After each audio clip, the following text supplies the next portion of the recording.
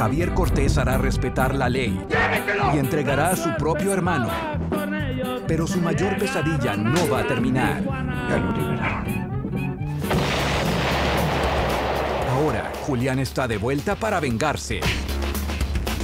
El infierno será grande para la familia Cortés. El infierno ya lo conocí, hermanito. Gracias a ti.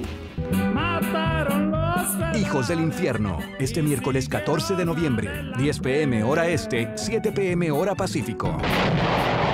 Por Estudio 5, sin fronteras.